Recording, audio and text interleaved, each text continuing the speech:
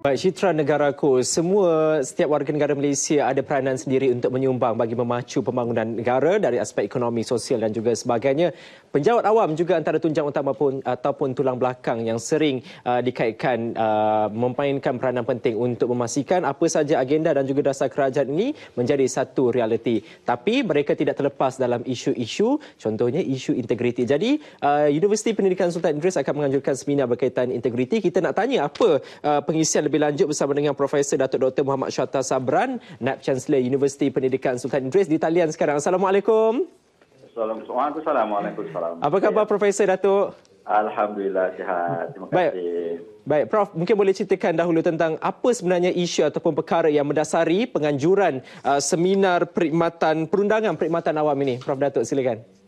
Okay, terima kasih semua. Okey, yang hmm. pertama sekarang ni kalau kita lihat ya isu integriti merupakan salah isu hmm. salah satu dari isu yang sangat kritikal ataupun hmm. uh, signifikan hmm. uh, kepada negara dan hmm. of course hari ini kita melihat uh, dasar kerajaan kita untuk menuju kepada TN50 hmm. untuk menjadi sebuah negara yang membangun hmm. berpendapatan tinggi dan hmm. untuk memastikan hmm. bahawa negara kita mencapai hasrat tersebut maka adalah satu perkara yang sangat-sangat penting hmm. kepada masyarakat di Malaysia terutama semuanya uh, menghadap menghayati dan memahami apa yang sebenarnya yang dimaksudkan dengan integriti mm-hmm. dan bagaimanakah integriti itu mampu melonjakkan kita sebagai sebuah negara mm-hmm. sampai kepada status sebuah negara maju yang diidamkan oleh pihak kerajaan dan pihak negara keseluruhan rakyat Malaysia secara umumnya. Hmm, baik, besar peranan integriti itu dalam memacu pembangunan baik. ekonomi negara. Prof. Datuk, berkenaan dengan pengisian seminar perundangan perkhidmatan awam itu sendiri, bagaimana agaknya mekanisme ataupun gerak kerjanya?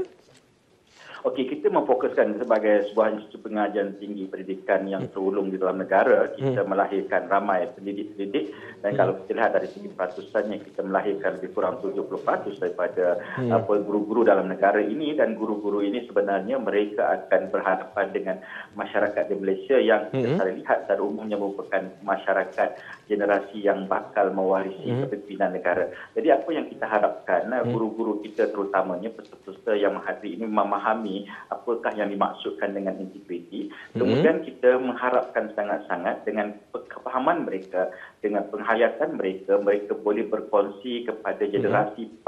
pelajar-pelajar mm-hmm. ataupun murid-murid yang pada satu hari nanti mm-hmm. mereka sudah menjangkau dewasa mm-hmm. masuk kepada alam masyarakat menjadi mm-hmm. pemimpin-pemimpin masyarakat mereka akan membawa semua nilai-nilai murni mm-hmm. dalam diri mereka mm-hmm. dan ketika itu insya-Allah negara kita mm-hmm. secara umumnya boleh bebas ataupun bersih daripada mm-hmm. isu-isu yang melibatkan integriti sebagaimana yang pernah kita dengar dalam masyarakat yeah. kita pada hari ini. Ya, berkenaan dengan seminar perundangan perkhidmatan awam itu, saya difahamkan akan ada pembentangan kertas kerja. Siapa antara uh, mereka yang akan terlibat dalam diskusi dan juga pembentangan kertas kerja itu nanti, Prof. Datuk?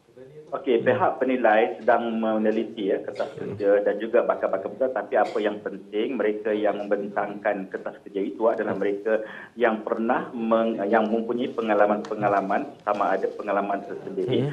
ataupun pengalaman-pengalaman yang mereka telah kendalikan yang hmm. berlaku dalam masyarakat kita pada hari ini. Kerana yang penting hmm. kita mahu peserta-peserta hmm. dapat melihat real case hmm. apa yang telah berlaku dalam masyarakat dan juga hmm. mereka melihat apakah akibat daripada hmm. apa yang berlaku. Kita bukan bercakap sekadar dari segi hmm. teori tapi hmm. kita juga melihat bercakap dari segi praktikal dan kita akan lihat nanti berbagai pameran hmm. juga akan didedahkan kepada peserta hmm. uh, di mana mereka akan dapat melihat dengan mata sendiri hmm. bagaimanakah kesilapan-kesilapan kadang-kadang hmm. boleh berlaku yang melibatkan integriti. Hmm, yeah.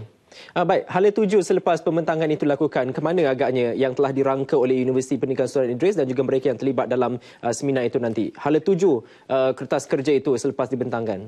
Kita akan memastikan bahawa mm-hmm. kertas kerja yang dibentangkan itu tidak akan berada di mhm. bilik seminar mm-hmm. sahaja. Apa yang penting mm-hmm. kita mahu ia dapat dipahami, dihayati oleh masyarakat dan mm-hmm. insyaAllah mereka kertas kerja yang terbaik akan mm-hmm. dipilih untuk dijadikan sebagai publikasi uh, untuk diterbitkan mm-hmm. dalam sama dalam bentuk buku ataupun dalam dalam bentuk jurnal mm-hmm. dan dalam masa sama kita akan pastikan ia masuk dalam semua media-media sosial supaya mm-hmm. mudah dicapai oleh mm-hmm. generasi muda yang ada mm-hmm. pada hari ini. Hmm.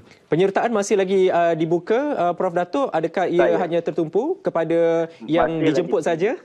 Uh, masih lagi dibuka kita akan buka seramai mungkin dan ada juga di antara peserta ataupun partisipan yang kita akan invite ataupun kita jemput berdasarkan kepada kemahiran-kemahiran mereka. Tapi secara umum kita akan buka kepada seluruh masyarakat yang berminat untuk memahami apakah yang dimaksudkan dengan integriti dan bagaimana integriti itu boleh membantu kita mencapai sebuah negara yang kita idamkan selama ini. Baik, terima kasih diucapkan kepada Profesor Datuk Dr. Muhammad Syahta Sabran, Naib Chancellor UPSI atas perkongsian berkenaan dengan Seminar Perundangan Perkhidmatan Awam. Kami doakan yang terbaik semoga kita dapat sama-sama meningkatkan integriti dalam kalangan penjawat awam sekaligus memacu pertumbuhan ekonomi negara. Terima kasih Prof Datuk. Baik, kita akan berkongsi kepada anda uh, banyak lagi pengisian rakan demedaran dan sebagainya tapi sebelum itu kita nak saksikan dahulu bingkisan daripada Kelantan Locker for You, projek inovasi terbaharu Jabatan Farmasi Hospital Raja Perempuan Zainab dalam memberi kemudahan kepada pelanggannya. Saksikan.